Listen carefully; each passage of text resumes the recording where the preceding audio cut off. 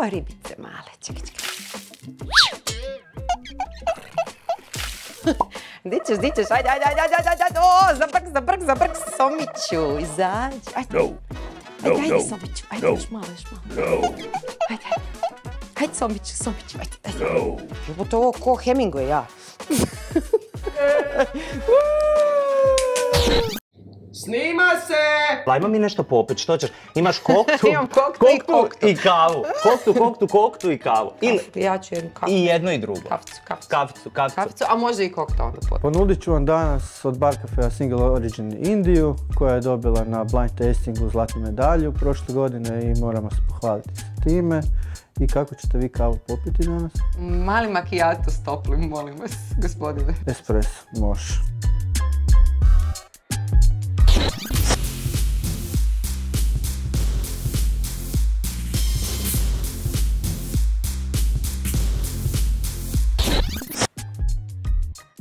Izvoliš, to je espresso. Da moraš sebe odgajat ko tinejdžericu. Jo. Oj, kako bi ti bilo? Jel bi bilo lako ili teško? Pa, s obzirom da sam, ne znam, ja sam tu nekako malo šizofreno to podvojeno imala. Znači, istovremeno kao u školi sve super, prosjek pet, ono, briljiram, razvaljujem sve. S druge strane, a, ja i još dve, tri frendice trpamo autolakove u ruksak i kao idemo oko ja. govorimo da idemo u best na ne znam nešto, a u principu idemo na glavni kolodvor tamo crtat po vlakovima. Dakle, znaš, ne znam šta bi uopće, šta bi sebi i kako bi ja sebe, ovaj, možda bi se sam pustila, kao da. Pa dobro, ali znaš, kad je škola dobro, onda ti je kao ovo ostalo ti je opravdano, jel tako? Kao nise, ne možeš toliko zeznut Da, ako si u školi dobar. A da. ja možeš upasti u loše društvo. E, a Ne to, a di ja. si, e, e, di si izlazila tad? Jese ono, tad kad sam bila u tim nekim kao postpubertetskim, to je bilo jedinica, to znači na vrhu nebodara na trgu, Znam. je bio klub 1, aha, ne ova od jedinica. radija tad. 1, Aha, kao. okej, dobro. E, e, kao je bilo radio 101 i radio 1. Mhm. I onda taj radio 1 je bio gore u, u tom nebodaru. I tamo su bili prvi hip hop party i to je ono, bilo legendarka. A, znači taj radio 1, a, Big Ben, Mhm. u, kaj je to? A, je to... A na Cvjetnom, no, Bogovića Bogovićeva, dobro. dole u podrumu, Best, znači na Aruno, ali to se išlo rijetko jer kao niko još nije vozio i onda nam se ne dalo ići tramvajem, bla. Mhm. I to, i nešto malo saluna, ali fakat malo. Dobro, i onda je I došla... nešto rec- mrvicu jabuke. Jabuka, gore, okej. Znate, pivo ili žestica, recimo, kad se van, što, što A, reći? žestica, Žestica, definitivno. bolje, jel da? Manje glava boli. Da, ne, i pivo je fakat obaveza, zato što moraš stalno ići na WC, tako da... Mislim, ja sam se prvi put napila sa 17, kao, i to smo, frendice i ja, ono, imale one dva, dva mala unučića za radit kolače, one rumove.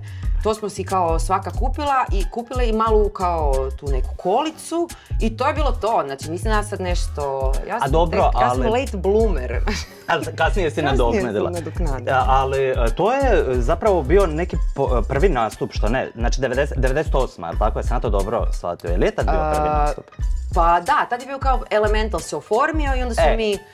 To me zajedno zanima. Taj nešto- tvoj prvi na... Je je, je sad kad se sjetiš tog, te treme, jel ti dođe negdje u tijelo ono, reminder? Pa mislim, ja uvijek imam tremu. To je zapravo bizarno zašto ja još uvijek imam tremu. Dakle, Zbog odgovornosti ili... Ne znam, znaš kao pričam ja sa sobom, dobro šta ti je, zašto sad, jesi već milion puta ste Mhm. izvodili te pjesme. Band ti je najbeniji na svijetu, dakle šta, ženo šta? I ne mreš, ne mreš, ne mreš. Ali baš taj prvi me zanima. Pa taj prvi, to je vjerojatno bilo ono, nervous wreck, ono ja sam... Bili smo Šat, Ink i ja, nastupali smo na tom velesajmu. Breakdanceri su imali neku svoju, neki svoj happening, neki događaj. I onda smo mi kao bili nastupali u tom nekom međuvremenu, a onda poslije tog nastupa smo se mi u autu dogovorili da ćemo mi napraviti band.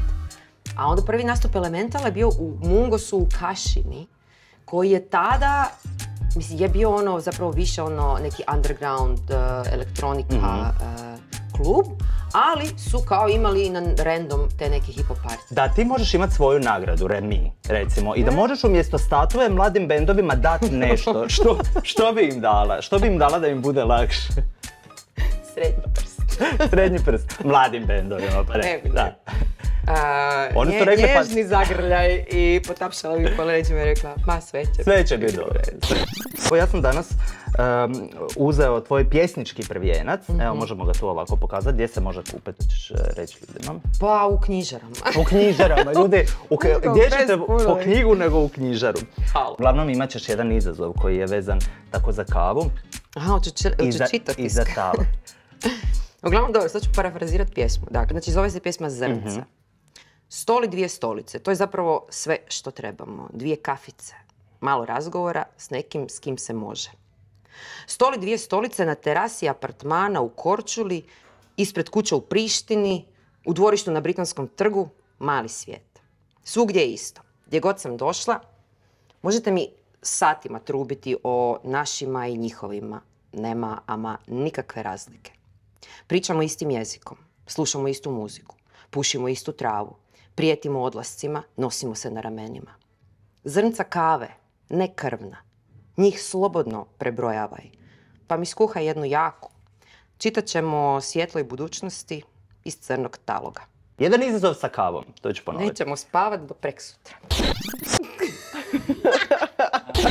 Voliš pit kavu. Pa evo još malo kave, ali ovaj put e, da oplemeniš ovo krasno slikarsko platno, ipak ti voliš male stvari. evo, Kao nije mi cijela bilo ekipa- dovoljno neugodno u ovoj emisiji sa ovim confessionima, e, Pa nego da, sad mi još volimo i... da bude malo neugodnije Ok, nek što je. Ok, ok.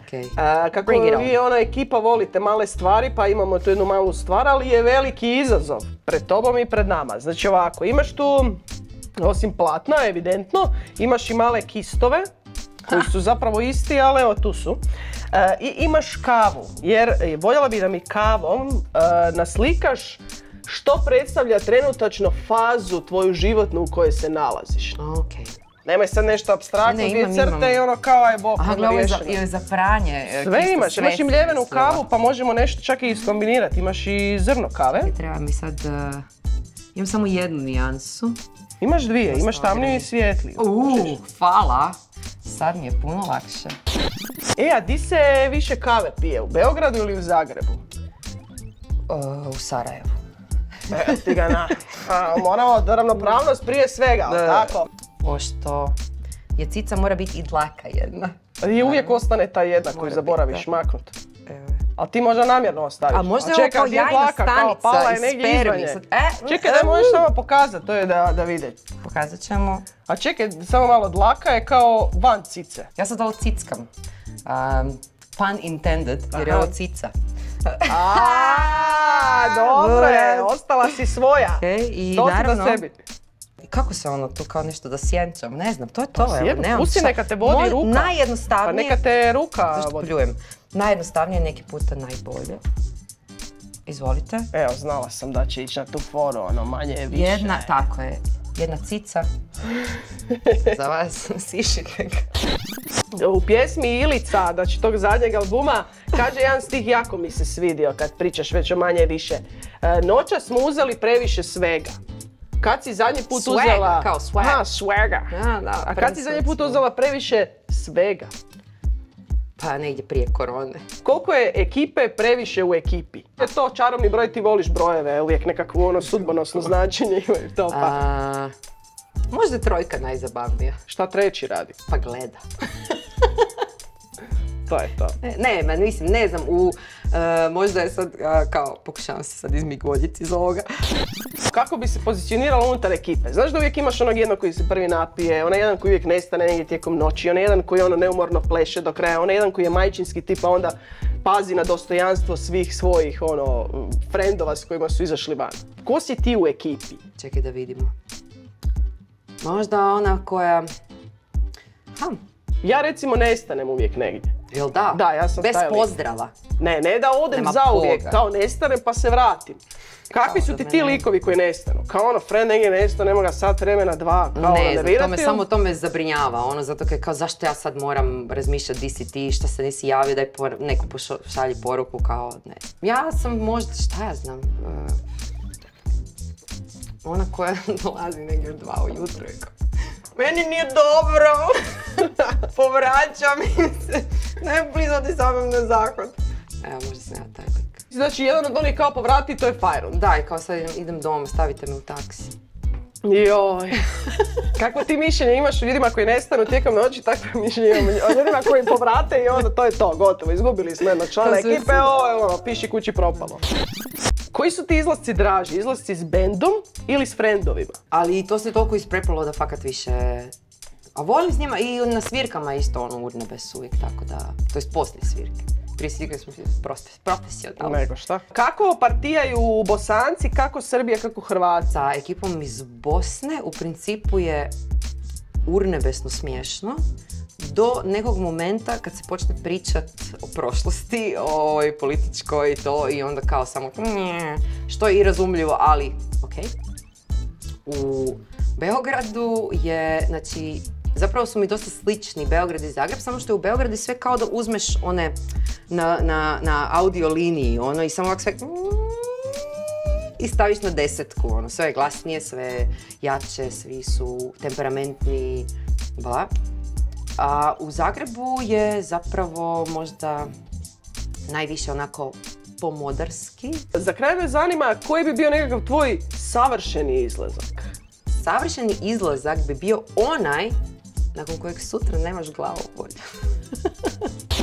Da je možeš li molim te negdje staviti ovo svoje remek dijelo, da možemo skuplje prodat e, šank cijeli. Evo, možemo tu staviti... Gdje god hoćeš, znači da bude ono ko rekvizit. Pa ne znam, evo možemo ovdje. Da vas Aha, ovo oko- ćeš da e, vas ovo štapela i, cicu. Tako je, da vas ovo oko uvijek gleda. Da razmišljate da li je to sisa, da li je ovo sam u krugu, da li je ovo e, jajna stanica i spermi koji dolazi ili jednostavno e, nemušt pokušaj izvlačenja Portreta. iz neugodne situacije koju moraš slikat s kavom. Eto. Divno, divno. Jel vam se dogodilo ono nešto, um, mislim neka anegdota u stilu ono pukla guma, zakasnili na nastup ili nešto kao u kondu? A ne, a. ono, dakle, na svirkama smo od 2004. Bilo bi blesavo da nije. Mislim da je legendarka bila kad smo e, svirali u Zrenjaninu bez šata. Dakle, šat i ja smo vokali u tom bendu. Vida je naš back vokal. Ona, svije, ona nova ulazi u bend. Tipa to je treća svirka u životu. I sad mi u Slavonskom brodu shvaćamo da šat nema pasoš A, no. i da ne može preći granicu. Pokušavamo zvat sve neke frendove, frendova, da li možda možemo nekak samo sa... Ne možemo preći. I ništa, u Slavonskom brodu stajemo i šata pratimo na autobusni kolodvor i frajer sjeda na autobus i vraća se doma. I sad Vida, koja je otišla na zahod kad smo sparkirali kombi i kad je šat otišao, ona se vraća sa zahoda i ko misli, ja sam mislila da vi mene zezate, kao da je ovo neko vatreno krštenje, kao da lik će u biti ono, da je ha ha ha, dobro. No, Nije, nije. E, I onda od tako negdje prelaska granice do I niste tog... otkazali nastup sad? Ne, bilo je znači festivalski gig, 45 minuta. Erol i ja smo se sam pogledali, ovak, mi to možemo izvući. I onda smo u kombiju onako frenetično prekrajali popis, gurali sve pjesme na kojima ima mene više. E, I ne znam šta je bilo, iz dana u dan, tipa nećemo, nego ćemo to spojiti s nekim, napraviti neki ludi medli. Tako smo napravili smo novi popis, kao izvući ćemo mi ovih 45 minuta. I onda još Erol svirao je gitaru na nastupu i imao je mikrofon tako da on davao bekove.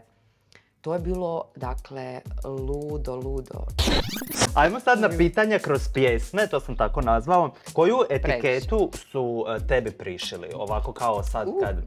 You name it. Ali najzanimljivija mi je bila da sam, to je bio neki komentar na nekom portalu, Skojevka. To zbog političke angažiranosti uvijek dobijam te neke mislila, kao jugonostalgičarka, komunistkinja, bla, ne znam šta Ali to ti je ne. najdraže. To mi je već, e, to, da, ali Skojevka to mi je bilo kao, pff, Jesi nekad Wow. pomislila da ćete um, zbog glazbe ostati goli i bosi?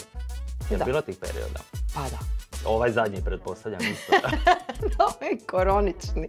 Preživjeli smo, znali smo da to neće naš vada trajati, mislim, nadali smo se da neće trajati do vijeka i kao nekako si misliš imaš to nekako na a, horizontu, kao bit će bolje. U kojem periodu života si najviše izgovarala prokleta ljubav?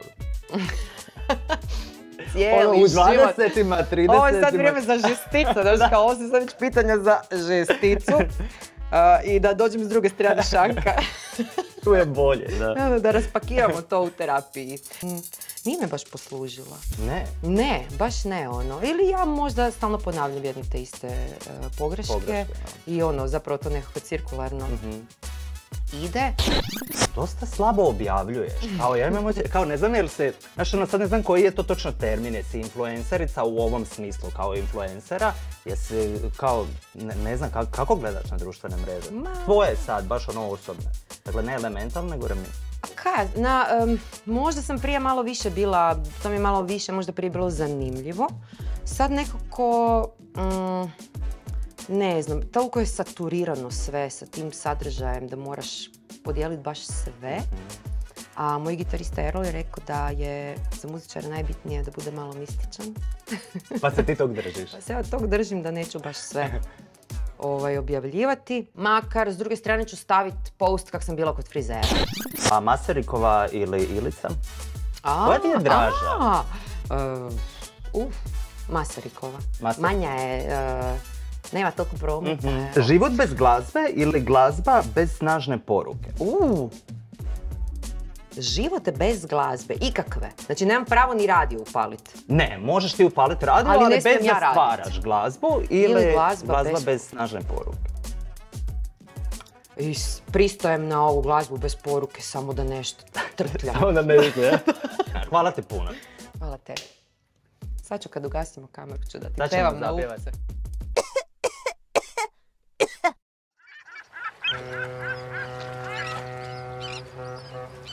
Pa do kud ćeš ti? A evo do YouTube kanala Waffle. Diš ti? Idem do divana, tamo su mi sva događanja. Hajde, dobro, vidimo se tamo.